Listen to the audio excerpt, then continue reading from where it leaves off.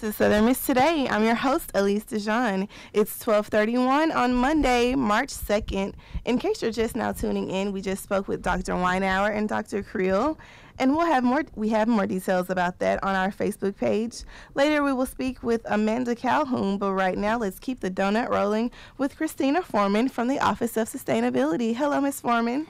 Hi, thank you very much for having me on your show today. Thank you. Thank you for being here. So, we're going to be talking about the swap table. And this is something that is really cool that you guys are starting to do. And yeah, let's let's let's hear about it. All right. Well, the Swap Table is a monthly event that is uh, sponsored by my office, the Office of Sustainability. And uh, it grew out of a one time event we had in November for our No Impact Week. Yes, Sam, I remember that. Yeah, we were focusing on consumption and how we could reduce our consumption and reuse the items that we already had in our daily lives rather than going out and always buying new stuff. So we had the first swap table in November, and the premise of that is instead of going out and buying something you need, come by the swap table with something you don't want anymore from Right. your life, swap it out for something you see on the table that you do want.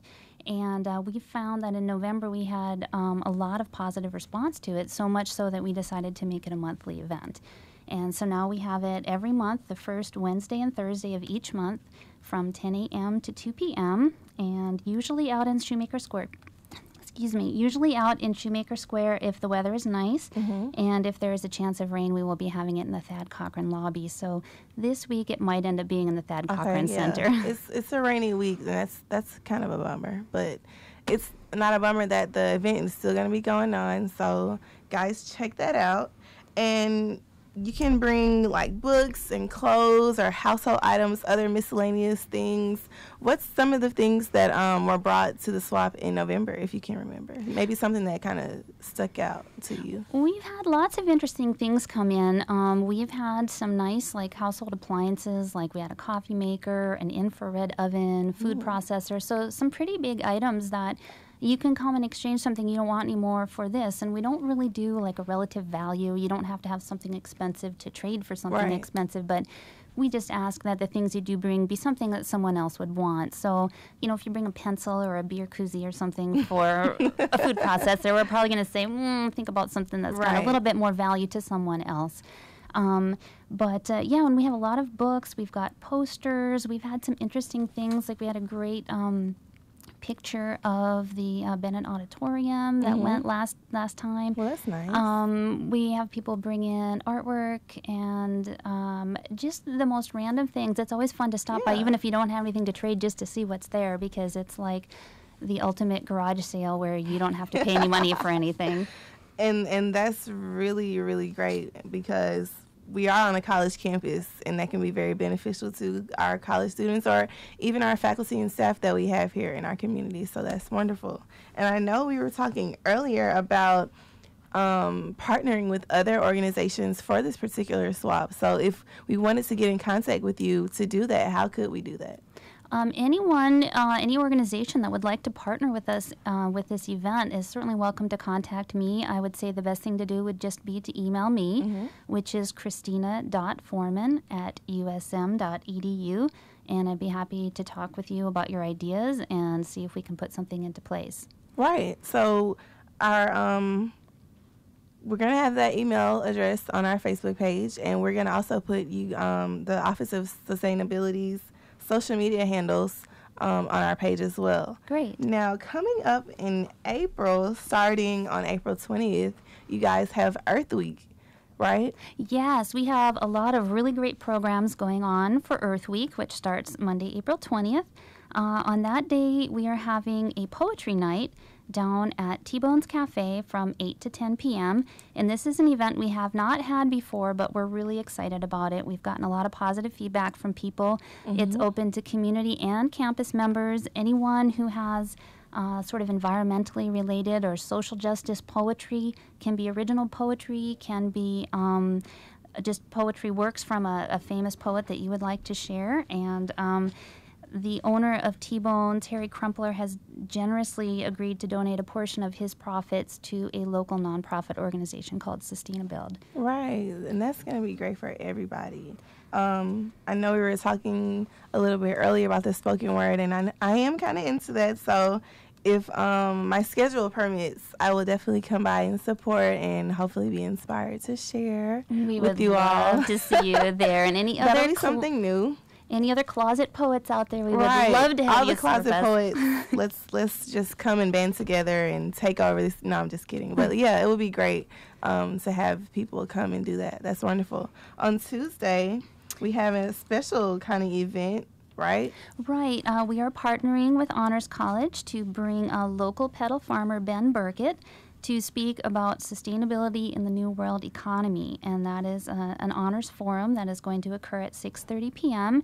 And uh, he is not only a local farmer, but he's also a food activist who has spoken around the country. And um, he also won the James Beard Leadership Award last year. So we're very honored that would, he would come and speak to our campus community. Yeah, he's right here in our Pine Belt area. That's so right. That's wonderful. And then on Wednesday, April 22nd, from 10 a.m. to 1 p.m., we have the Earth Fair, which is an event we've had um, for several years in a row. And that is just an opportunity for campus and community organizations to come out and share their environmental message. Um, we generally have a lot of participation, and it's a very fun event full of kind of optimism and excitement. And we look to have a really good crowd this year. And then Thursday is a new fair. It's the reuse fair. Right. This is something new we're trying. Um, we realize that uh, we aren't the only people out there that really like to reuse things and create new products out of old products. So we are offering anybody who likes to do that kind of thing to contact me and get signed up to come and display your creativity at our reuse fair. Um, it can be anything that um, anything that you would normally throw away that you can create and transform into something else, whether it's um, art or a functional item. Um, for example, we have a student who likes to make um, bags out of old T-shirts, and someone who can take old bottles and make art and make candles out of them. And I think you said that um, you know some people who do some fashion things. Yes, I know. Um, I have two acquaintances of mine. They're from Jackson, Hannah and Jasmine Bowie. They have a clothing company where they kind of chase, um, take, for example, I have a I have a pea coat, and um, they'll take it and we'll kind of consult with one another, and they will make a blazer or you know maybe a skirt or a purse or something out of that. So I definitely want to get those ladies in contact with you as well. So you know this the things that you guys are doing at the office of sustainability you never know what kind of impacts or what kind of connections you can make with um, other people in the community or the surrounding area so i'm really excited um, for the things that you're doing that's kudos to you guys Well, thank you so You're much. welcome. Yeah, we're really excited to see what kind of great ideas um, come to light here at the Reuse Fair. So, anybody who has those kind of ideas, please contact me. We would love to sign you up to uh, join our Reuse Fair. And of course, those of you who aren't creative like that but want to stop by and see what's out there, we w- invite everyone to come by. Um, that's going to be, um, like I said, Thursday, April 23rd on Weathersby Lawn from 11 a.m. to 1 p.m. And we will be doing voting on our favorite displays. And friday to end the week we have the field trip to a farmstead Yeah, we are going to be taking people out to Fulmer's Farmstead, um, which is a farm outside of Richton, Mississippi, which is about 40 minutes east of here. okay And they are really amazing. They do all of their farming by horse drawn plows and other vehicles. They don't do any kind of mechanized farming.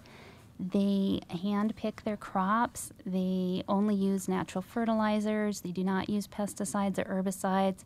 It's just really this wonderful, it's almost like a step back in time to see what they're doing and the fact that they they're can still doing that yeah, and the fact that they can make this type of farming, which is so healthy for the land and it's so healthy for human beings who eat the produce, that they can make it work. You know, they've been making a living doing this, and it shows that you don't have to use a bunch of chemicals and big machines to have a, a, a functional farm that you can make a profit on. And while we're there, we're also going to check out, they have all sorts of different livestock that they use.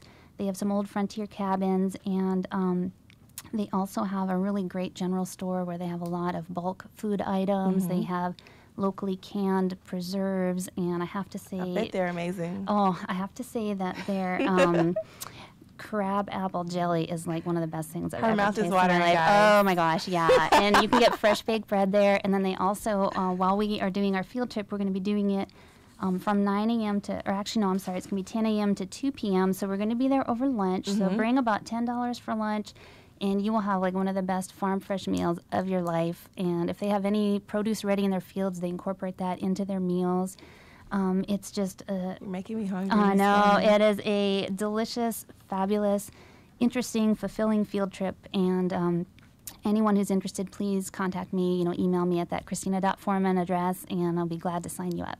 Yes. So, with everything that we have going on, Earth Week coming up in April, we'll be on the lookout for that. And this Wednesday and Thursday, the swap table on Shoemaker Square from 10 a.m. to 2 p.m., correct? Yep, unless it rains, and Yes, then we'll be in the lobby rains, of it'll Thad in the lobby Cochran. of Thad Cochran. Um, we're going to put all of that information for you guys on our Facebook page. After our break coming up, we will end the show with Amanda Calhoun. But right now, we're going to thank Miss Forman. Thank you for being here. We appreciate it. You are a friend to the show, and let's continue to be friends and come on the show and talk to us again. That sounds great. Anytime. Thanks again for having me. No problem. Right now, guys, I have some music for you. Check out Three by Rooster Blues. We'll be right back with Southern Miss Today.